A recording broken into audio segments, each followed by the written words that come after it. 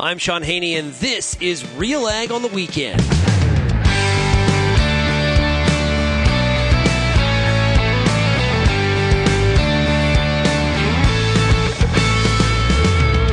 Let's get real and get connected with the week that was in Canadian agriculture. Real Ag on the Weekend starts now. Welcome to Real Ag on the Weekend. I'm your host, Shaun Haney of RealAgriculture.com. Thanks a lot for joining us here on this great weekend, the first weekend in August, which is really hard to believe. Time is flying by. We got we got we got some combines rolling in some parts of Western Canada.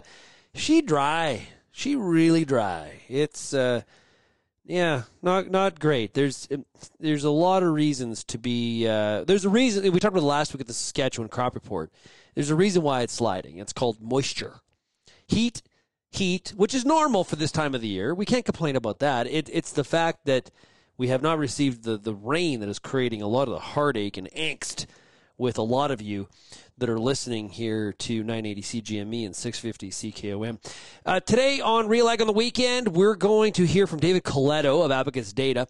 He's going to talk about, hey, look, look, like, don't blink, but Pierre Poilievre of the Conservative Party of Canada are 10 points ahead of Prime Minister Trudeau and the Liberals. So, what does this mean? Why is this gap been established? Because the Conservatives have had the lead before, but not 10 points. So, what exactly has happened here? Also, we're going to hear from David Przednowek. He is with CN Rail to talk, talk about CN's grain plan for the 2023 shipping season. There's been a, a, you know, this is the time of the year where we start to look ahead, obviously, as we harvest. We haul stuff to the elevator. That's got to get on the rail. Then that's got to get to the port, and then it gets on a ship. A lot of things are going to line up logistically, and we tend to focus a lot on the railways. Now, sometimes lack of um, the system working, so to speak, eh, railways are an easy target, but uh, sometimes uh, I think those fingers are pointed necessarily probably in the wrong direction, or or maybe uh, misappropriately pr- eh, weighted towards the railways. There, there's a lot of challenges at the port as well. Uh, we, we've seen that with some of the labor issues that they've had the Port of Vancouver. Always coming up is things like the fact that Port of Vancouver was rated so poorly, so poorly when it came to uh, performance. But uh, we're hoping for a good shipping season, and David is going to talk all about that and really shed some light on kind of how they're going to get things done. I, I, I like going through these reports that CPKC and CN put out because it kind of gives you an idea what what are what are the opportunities, where the barriers. They provide some volume targets and and things like that. So uh, I think it's going to be pretty interesting to hear what he has to say.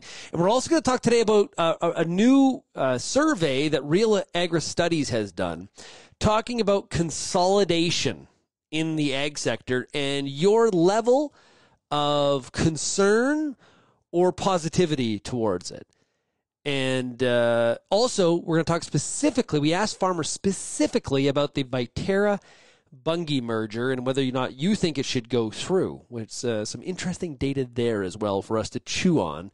And I definitely want your feedback. Speaking of feedback, you can send me an email, shaney at realagriculture.com. You can also find us across all the different social media platforms YouTube, Twitter, Facebook, uh, Instagram, TikTok, Threads, Make sure if you subscribe to our YouTube channel, you like and subscribe to the videos. I really appreciate that. And of course, you can call the Real Ag Feedback line 855 776 6147. Um, we also saw yesterday, Friday, we saw the jobs numbers come out. And interesting. So Canada's unemployment rate rose again last month uh, for July as the economy struggles to create enough jobs to match the pace of population growth. Statistics Canada reported Friday employment was little changed in July, falling by 6,400 jobs. The U.S. actually gained 187,000, which was also under the estimate. The unemployment rate in Canada ticked up to 5.5%. So we're starting to see a little bit of a loosening in, in that job market. Unemployment, it's not moving up by full points, it's moving up by tenths, but it is starting to creep higher. The U.S., by the way, is at 3.5% unemployment. which is staggering to me. So now, one of the one of the theories, economic theories out there, is that the Bank of Canada will have to continue to raise rates. They will have to continue to raise those rates until we see unemployment rise, because that will that will be a showcase, that will be a signal that the economy is is is definitely losing its steam, so to speak. The other thing we heard about economics this week is continue. Well, one was the fact there was a, a credit rating in the U.S. that created by Fitch that created a lot of stir. Uh, that people pushed up uh, pushed back against quite a bit in reference to the U.S. dollar. But we heard a lot about the numbers starting to show that maybe this deep recession in the back half of 23, early part of 24 may actually not be what the reality is. We might actually see more of what one would call a soft landing. Th- that sounds more appealing to me than a hard recession. The question is how the Bank of Canada steers through that kind of that kind of transition.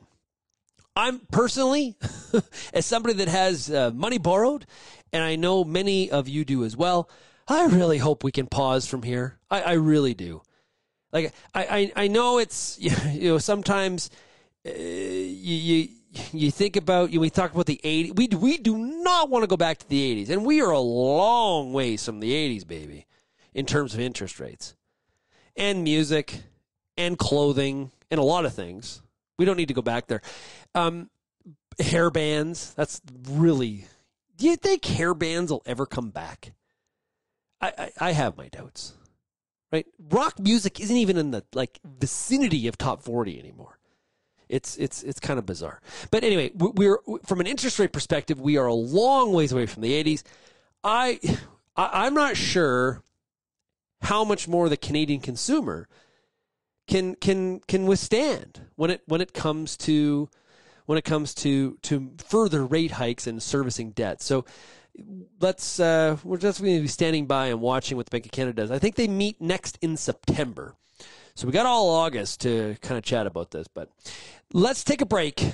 Um, when we come back, we're going to talk to David Coletto. The Conservative Party has a 10 point lead. It's the biggest they've had in a long time. What does it mean? How do we get there? And can they hold on to it? You're listening to Real Ag on the Weekend here on 980 CJME and 650 CKOM. You know, there's a reason we call it the Corn School. Videos on everything from planter setup, weed control, field trial results, yield strategies, and so much more. The Corn School on realagriculture.com has the information and advice you need to help you succeed. Brought to you by Pride Seeds and BASF Corn School episodes are available at cornschool.com, from realagriculture.com, or as a podcast from your favorite streaming service. Download the latest podcast today. If you're involved in the agriculture industry, it's important to stay informed on all the latest issues affecting your business. At realagriculture.com, we offer fast, reliable news, information, and insights to help you keep on top of all of the latest in Canadian agriculture. Visit realagriculture.com and sign up for our free daily newsletter covering everything from news, agronomy, animal agriculture, and much more. Visit realagriculture.com forward slash subscribe today.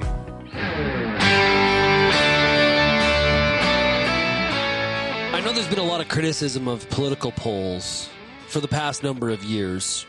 Polls having a hard time getting elections right. We've seen that in the U.S., we've seen it in Canada as well.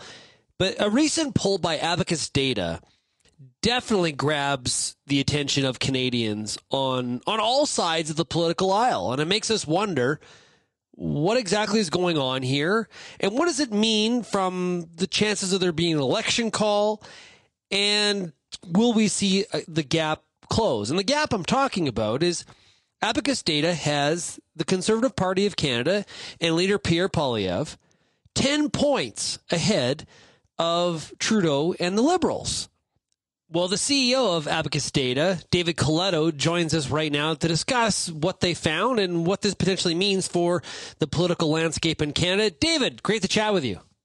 Great to see you again, Sean. Okay, uh, you do a lot of political polling, and I believe that you were the first one out showing a, you know, really kind of a, I guess, a change in the sense that the Conservative Party of Canada has pulled out to a 10 point lead against the Liberals. Uh, this this was used as a big, significant, I guess, push for the cabinet shuffle that happened last week. What is the data showing you? So yeah, it's the largest lead we've had for the Conservatives since the Liberals were elected in 2015. Um, you know, we and others have shown the Conservatives ahead, but only you know marginally, two, three points, uh, upwards of five at some points, but but 10 points is big, right? And it signals something's happening um, in in a number of parts of the country, right? No doubt, the prairies solidly uh, conservative. Uh, but what we're seeing is in British Columbia, the Conservatives making big gains. In Ontario, they now have a six point lead in our survey.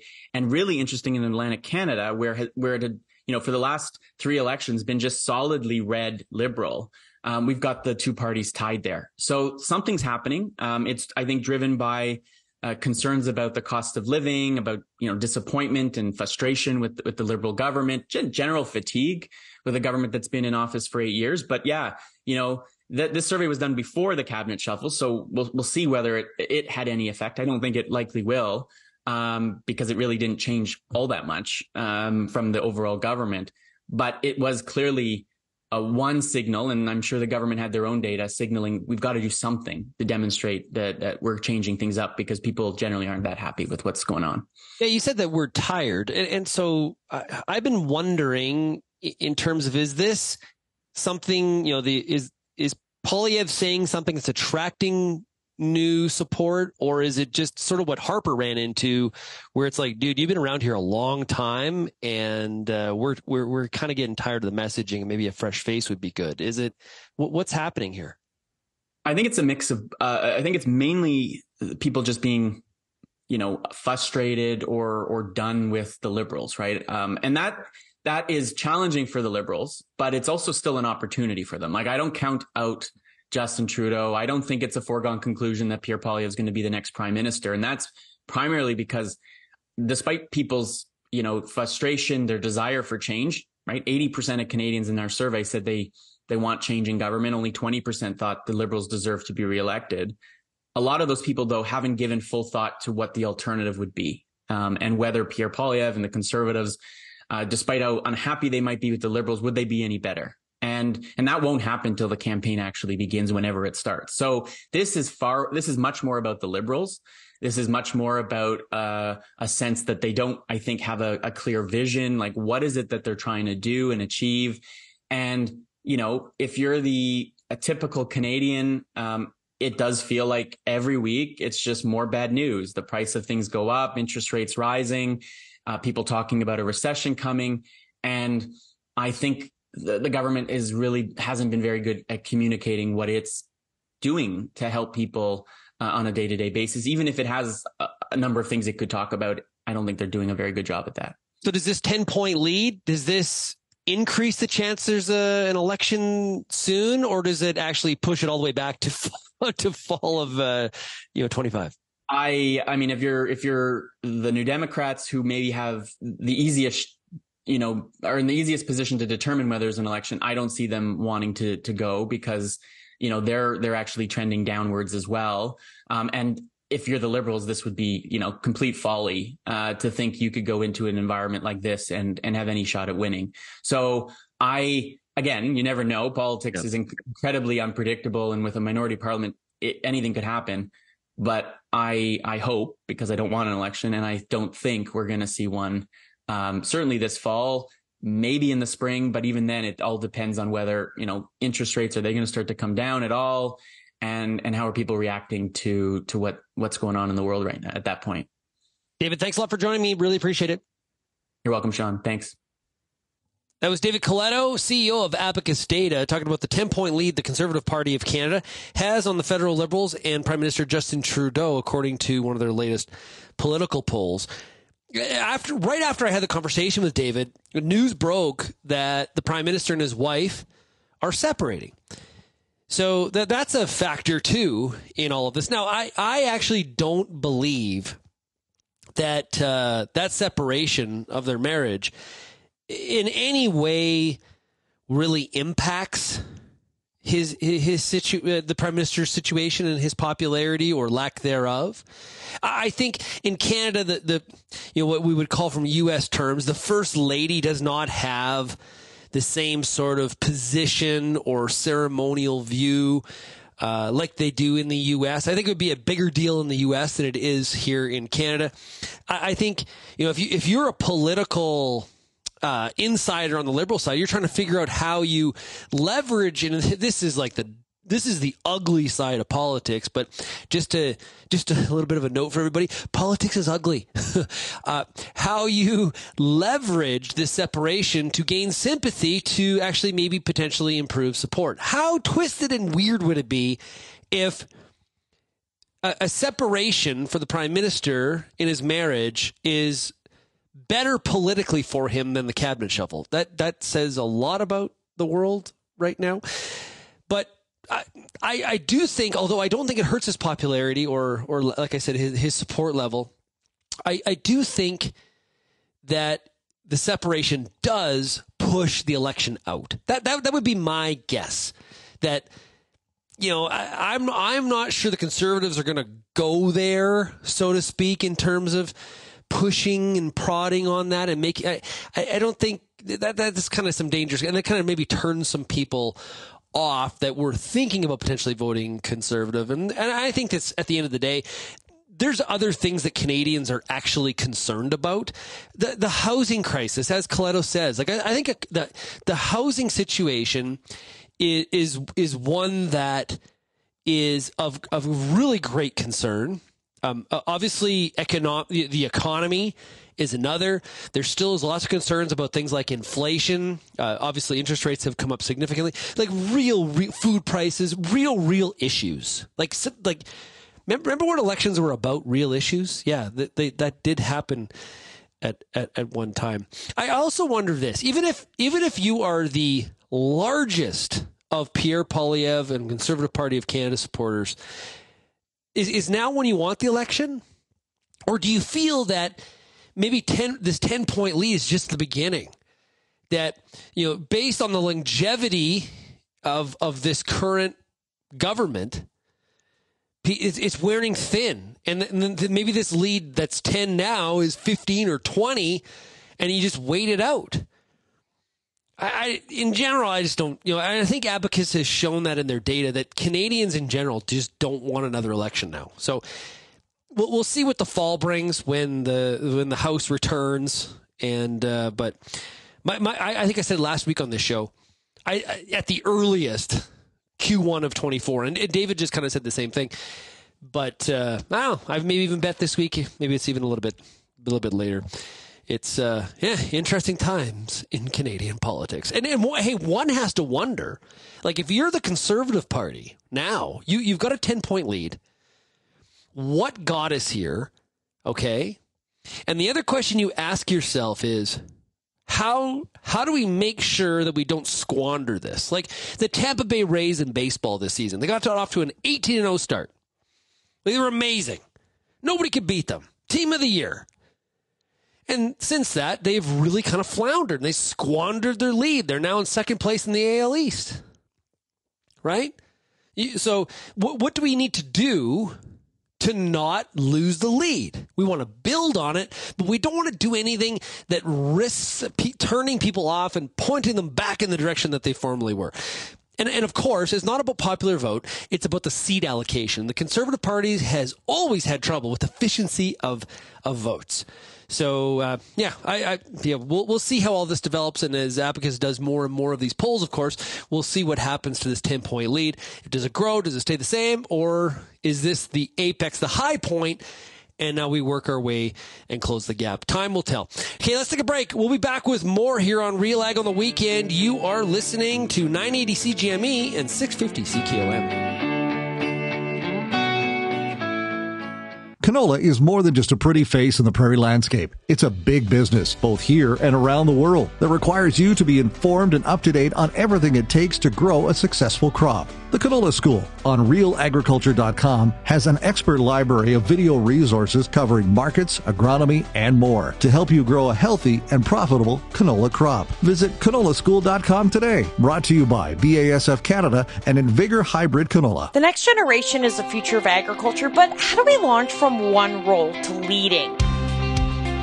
From succession planning and family dynamics to understanding finances and making the tough calls to discovering paths others have taken all through agriculture, the Successors podcast covers it all. Tune in with me, your host, Kara Oosterhuis, simply by searching The Successors on your favorite podcast platform, or you can find it by visiting www.realagriculture.com. Whether you're seeding, harvesting, or anything in between, the Wheat School on realagriculture.com has you covered. Timely agronomic information from industry experts available online anytime. Give your wheat crop a good start and a great finish with the Wheat School on realagriculture.com. Brought to you by C&M Seeds, Syngenta Canada, and the Alberta Wheat and Barley Commission.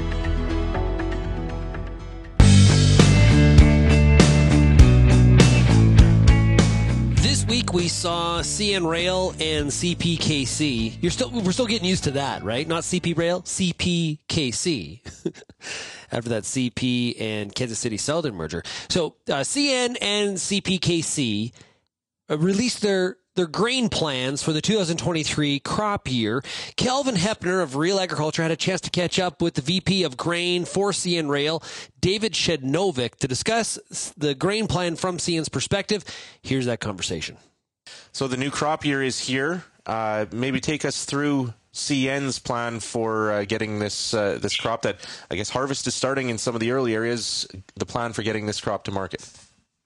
Yeah, just to uh, circle around quickly back, Kelvin, to the main two main considerations of the grain plan and what it's really meant to do. One, how much grain and processed grain products does CN expect customers to offer up for movement? How much will you move over the course of the crop year? Based on what you know about crop size, carry-in stocks, etc. And two, detail the resources that you have in place to move that volume of grain over the course of the crop year. So everybody knows full well a lot of uncertainty about crop size right now. Fair to say that we are looking at a, a below average crop unless something fundamentally changes. It's not going to. We guided uh, last week as part of our uh, quarterly investor call based on feedback that we're getting from stakeholders know, we signaled a crop around the mid 60s, and there's numbers all around that, that being the production in Western Canada in million metric tons. We're going to update that as the crop year goes on. We file a monthly grain plan update. How did the month go? Cover off additional information. And just like we have in the past, we'll update the expected volumes that, uh, that we anticipate to move over the course of the crop year through that vehicle. The main thing is the resources in place to move the, the crop over the course of the crop year looking across the crop year over 12 months, we have upwards of 36 million tons of grain supply chain end to end to handle this year's crop. That is well in excess of the volumes that we expect that will be offered up for movement.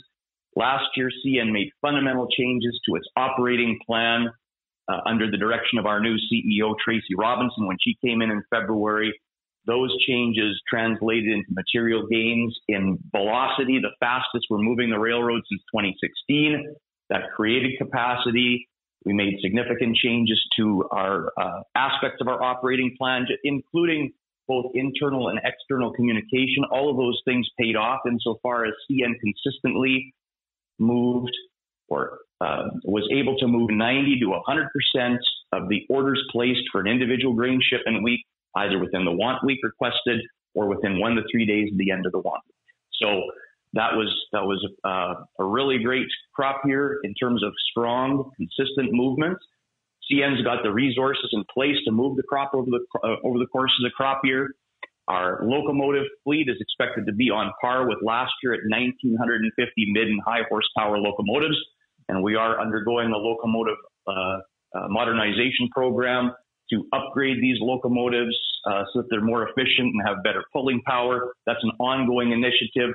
Our hopper car fleet for grain movement in Western Canada is expected to be uh, the same uh, as last year. So we expect that will be ample to move the crop over the course of the crop year.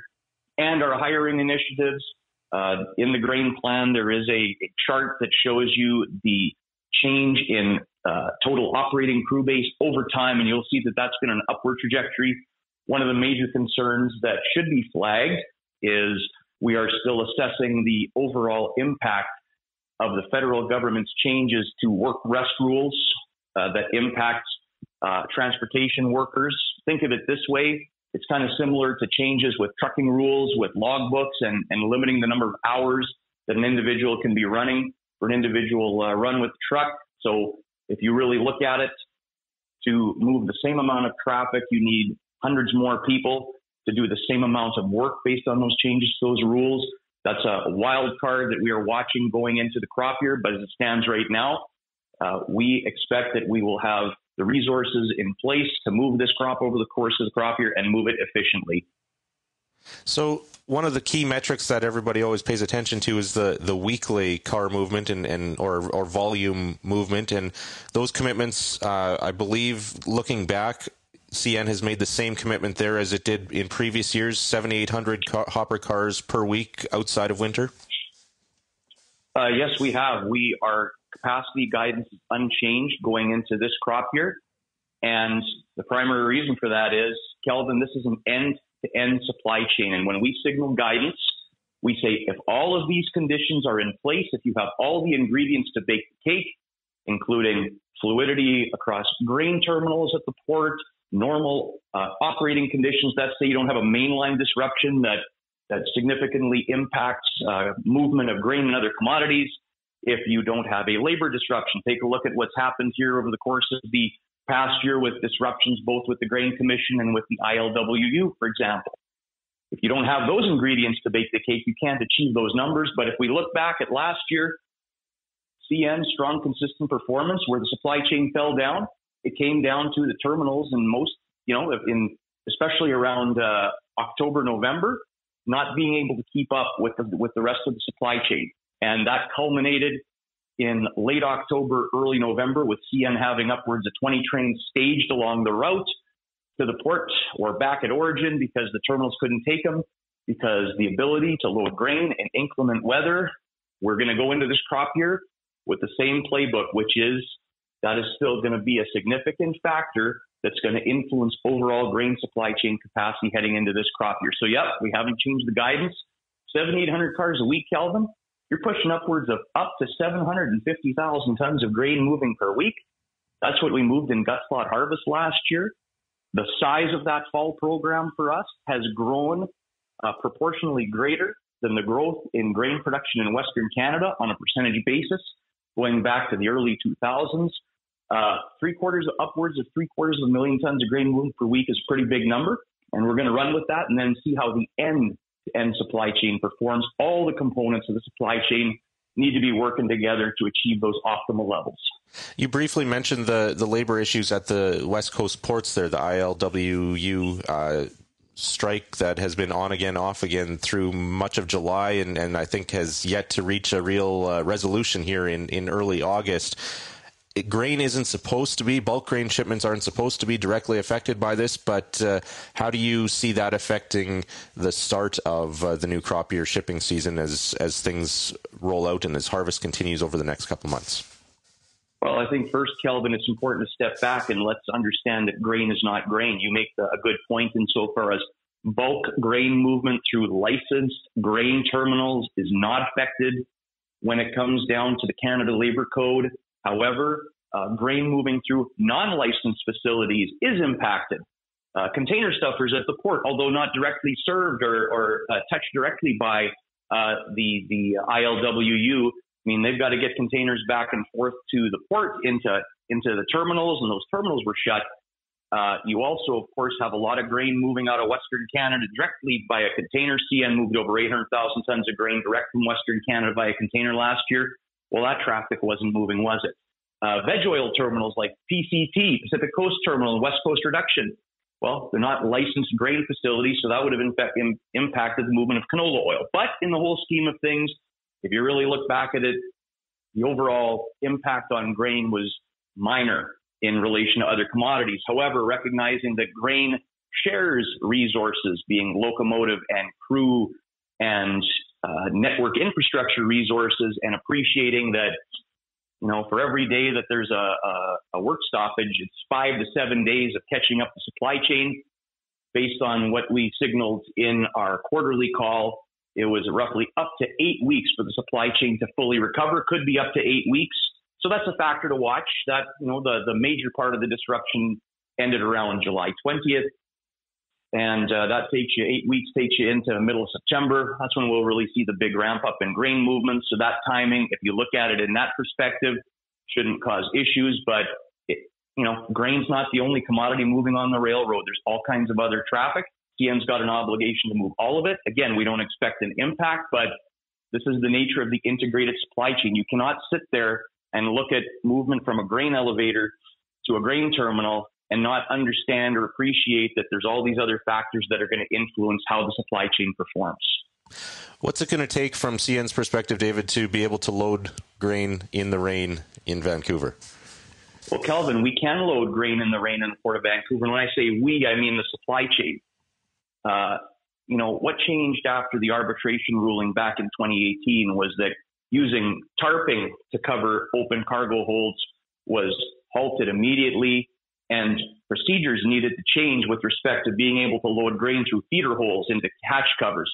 What's a feeder hole? Basically, think of it as a big hole cut purposefully in the top of a hatch cover so that you can keep the cargo hatch closed, so you can insert a grain loading pipe, a spout, and continue loading, albeit at a overall slower rate relative to if you were just straight pouring with the hatches open.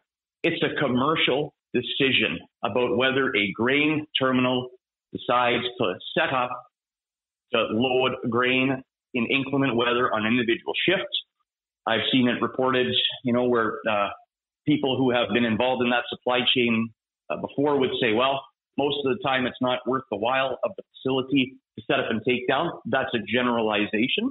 Some facilities employ this more, other than others in the in the uh, at Canada's west coast ports, um, specifically the port of Vancouver. So it's not that it can't be done it's more of it could be done if the wherewithal is there to do it is there. But going into the harvest, we're sitting here in the same spot as we were last year. So CN changed its operating plan. We're going to tweak that plan this year. We got the resources, but a year's gone by and there's a lot of talk about, well, we're going to sit down and look at this with all the parties in the supply chain. Well, we're still here sitting in the same boat we were last year, but make no mistake, it's a commercial decision about whether to set up and take down in inclement weather.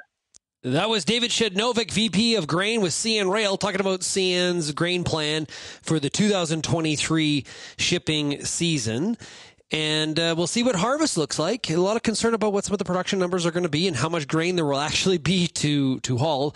I maintain we are better than 21 not as good as 22. We'll we'll see where the final numbers lie, and uh, of course where exports land as as as well. So if you want more information on that grain plan, you can go to realagriculture.com. Kelvin's filed a couple stories on it for you to uh, view and peruse and provide some comment as well. We'll be right back here on Real Ag on the weekend here on 980 CJME 650 CKOM.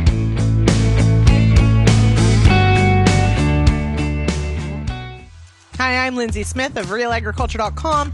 Join me Monday nights at 8 p.m. Eastern for The Agronomists, Canada's only live, interactive, agronomy based show.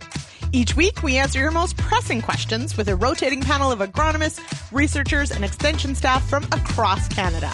Join me Monday nights, 8 p.m. Eastern on YouTube, Facebook, Twitter, or LinkedIn, or head to realagriculture.com slash live at 8 p.m. Eastern.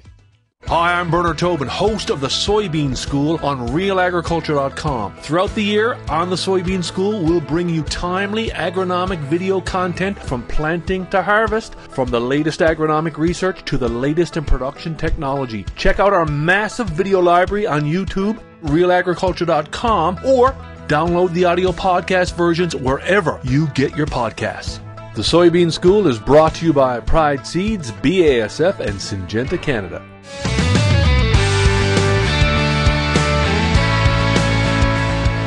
Recently, Real Agri Studies, which is the market research arm of Real Agriculture, we, we did a, a survey connected to our Canadian Farmer Sentiment Index in, in July, we asked farmers about consolidation. And, and this is really top of mind right now, I think, because of the Viterra and, and Bunge merger that is, is looking to potentially happen. And, and, and just wanted to kind of gauge farmers' it, their, their perception right now of consolidation, how it potentially is negatively impacting them or, or positively impacting their farm operations. Farmers resoundingly, now this is across Canada, okay?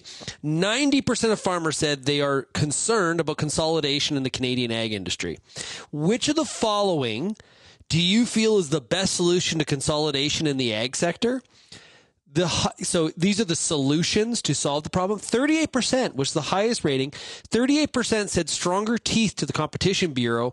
36% said attraction of new competitors were applicable. So I, I, think depending on what kind of segment of agriculture we're talking about like if you're concerned about the consolidation of ag retail th- that's uh, a little bit easier thing to solve because because uh, there's lower barriers to entry. Somebody could be an agronomist and put up a phase three shed and they're in business. To to increase competition in the grain sector, that's a whole different ball game. Whole different ball game. Uh, only four percent said more government intervention, which which was interesting. 50, or sorry, eighteen percent said that uh, we need to let the free market operate.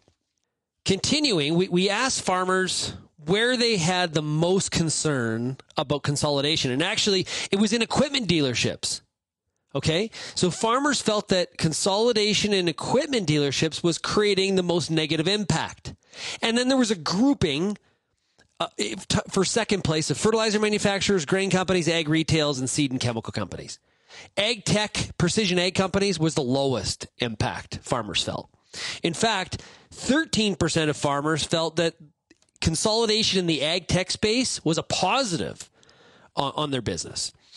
Now, when we look at the concern or support for the Bunge uh, Viterra merger, 29% of farmers felt they were extremely concerned. 51% said somewhat concerned. So basically 80% either somewhat concerned or extremely concerned.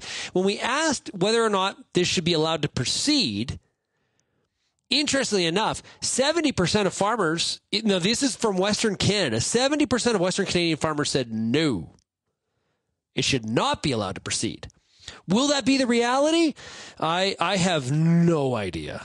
But that that is some pretty interesting numbers there for for sure. And that's hey, that's from the horse's mouth. That's how farmers feel uh, about consolidation, and then more specifically about uh, the Bunge Viterra. Six hundred farmers answered the question. So this is not this is not like we asked 10 people, 600 farmers across Canada about consolidation in in the ag space. One of the questions I have because on the Viterra Bunge merger, there, there's conflicting points of view. So farmers, I think, in general, as as our data shows, very concerned about consolidation. 90% of farmers, okay? And, and 70% of farmers saying that specific merger should not go through there's a perception, and, and actually, I should I should point out that the main reason of of why people felt it would negatively impact them, farmers said it really had to do with less options to to market their grain was, was one of the big real reasons. So uh, th- there also was a, a large concern about uh, poor basis and lower prices. Th- those were the main reasons that people pointed to in in in this specific merger. And so here's what's interesting in in the differencing the difference of opinion that is out there is is that what I've been hearing from farmers, they're very concerned. When I talk to people that are in the grain industry, they're a little bit more ho hum about some of the negative impacts.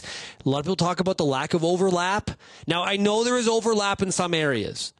But in general, what I continue to hear from the grain trade is that there is there's there's really not as much as we think. So very very fascinating between the reality and perception but honestly perception a lot of times wins the day there's no question about that if you have any feedback on today's show we'd love to hear from you send me an email shaney at realagriculture.com or you call the real ag feedback line 855 776 61 24 7. Thanks, everybody, for joining us here for Real Ag on the weekend on 980 CJME and 650 CKOM.